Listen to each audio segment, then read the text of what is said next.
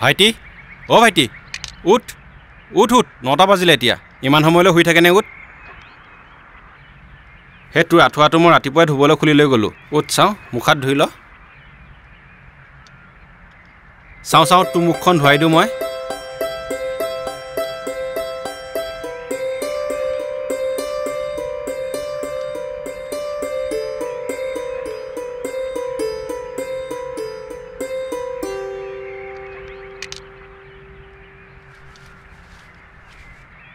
ল বাৰ্ছডাল ধৰ।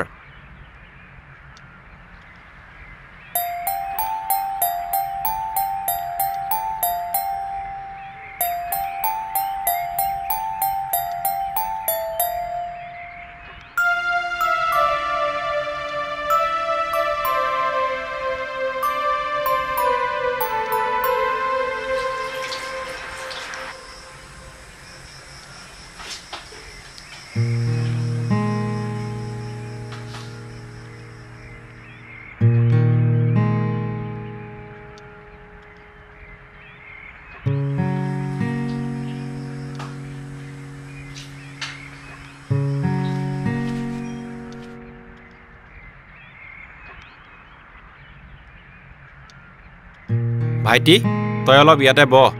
মই তোৰ বাবে খাবলৈ গাখীৰ অলপ লৈ আনো ৰ।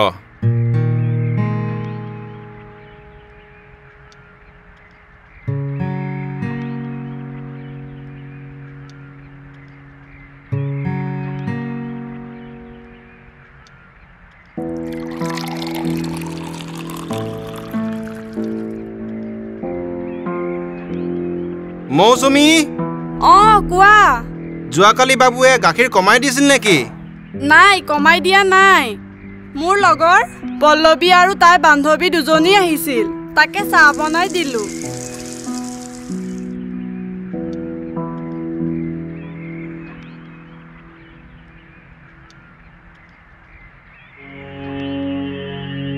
গাখীৰ খাই লচোন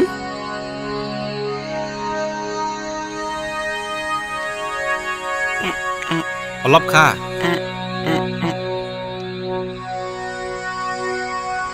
ব'ল এতিয়া বাহিৰতে অলপ বহিবি।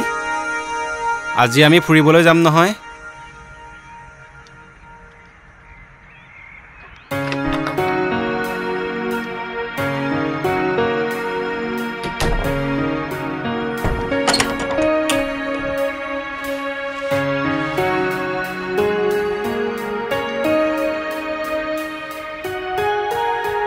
অ' ভাইটি চাওঁ কাপোৰ পিন্ধি লচোন।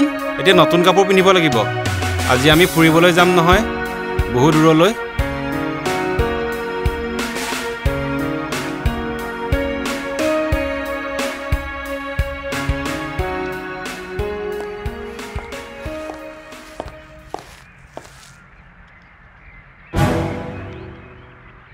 তুমি যে ইয়াক নতুন কাপোৰ পিন্ধাই সজাই পৰাই লৈছা? ইও আমাৰ লগত ফুৰিবলৈ যাব। কি? ইও আমাৰ লগত ফুৰিবলৈ যাব? অঁ। ইয়াক আমাৰ লগত নিব নোৱাৰি দেই। কিয় নিব নোৱাৰি? কাৰণ ইয়াক আমাৰ লগত লৈ যাবলৈ মোৰ লাজ লাগে।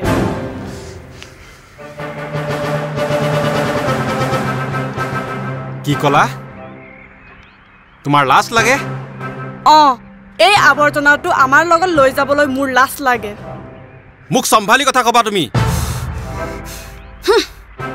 সদায় সদায় তুমি ইয়াক আৱৰ্জনা বুলি নকবা। আৰু আজিৰ পৰা যাতে মই তোমাৰ মুখত এই আৱৰ্জনা শব্দটো শুনা নাপাওঁ। তোমাৰ মা দেউতা চাগে পাপী আছিলে। আৰু সেইবাবে আজি এনেধৰণৰ সন্তান জন্ম হ'ল। আজিৰ সমাজৰ শিক্ষিত নাৰী হৈও তুমি ইমান অন্ধবিশ্বাসী? শুনা যেতিয়া ভাইটি মা গৰ্ভত আছিল তেতিয়া মাৰ বহুত টাননৰীয়া হৈছিল আৰু তেতিয়া মায়ে বহুত দৰৱ খাব লগা হৈছিল। তাৰ ফলতহে কোনো পাপৰ ফলত নহয়। দম্ভালি মাৰি কথা ক'বলৈ নাহিবা। তিৰোতাক সুখ শান্তি দিবলৈ শিকা।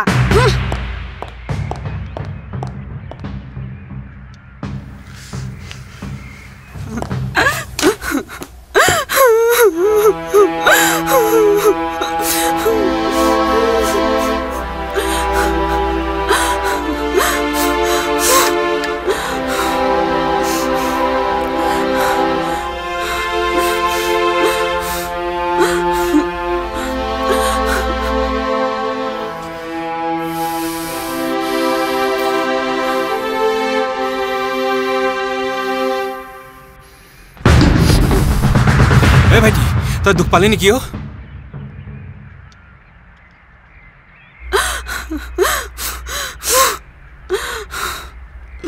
শুনিছা? তোমাৰ আৱৰ্জনা মই ডাষ্টবিনত পেলাই থৈ আহোগৈ।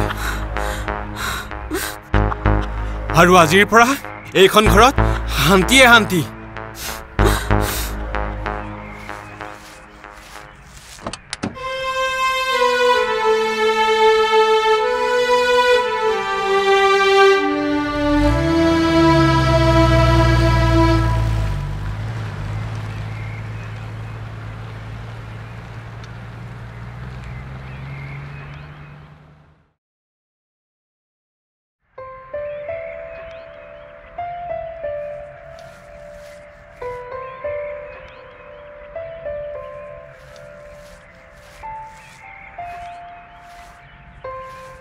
এয়া লোৱা চাহ আনিছো। অঁ ভালে কৰিলা দিয়া। আজি গাটো বৰ ভাল লগা নাই। কি হৈছে জানো? বৰ গৰম লাগিছে বুজিছা হাত ভৰি ভৰি দেখোন কিবা জিন জিন জিন জিন কৰিব লৈছে হেই। অঁ হঠাতে কি হ'লনো নাই অথনিৰ পৰা গাটো বৰ মাথাটো কিবা টিং টিঙাই থকা যেন লাগিছে। অঁ ৰ'বা মই বিচনীখন লৈ। আহোঁ তেনেহ'লে।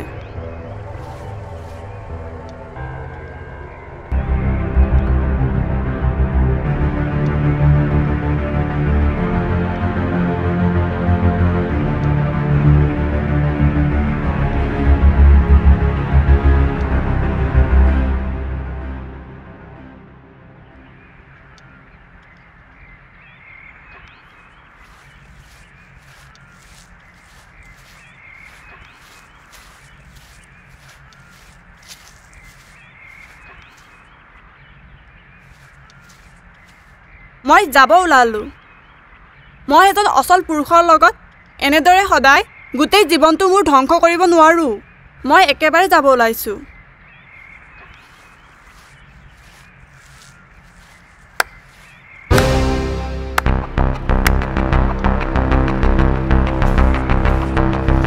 তুমি মোৰ লগত ইমান ডাঙৰ খেল খেলিলা? খেল নহয় মৌচুমী। আচলতে মই তোমাক মৰমৰ পৰীক্ষাহে চাইছিলোঁ।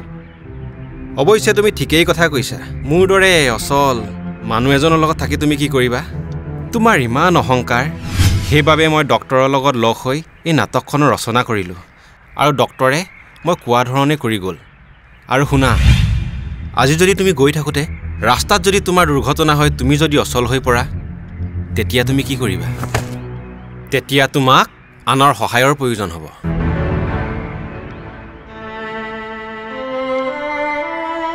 ভাইটিক ক'ত পেলাই থৈ আহিলা? তাকতো ডাষ্টবিনত পেলাই থৈ আহিবৰ বাবে সিটো মোৰ বাবে আৱৰ্জনা নহয়। তাক মই মোৰ মামাহঁতৰ ঘৰত থৈ আহিছোঁ। তুমি মোক ক্ষমা কৰি দিয়া।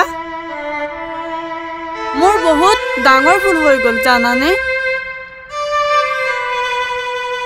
ব'লা তাক আমি আজিয়ে লৈ আনোগে। মই আৰু তাক কেতিয়াও আৱৰ্জনা বুলি নাভাবোঁ।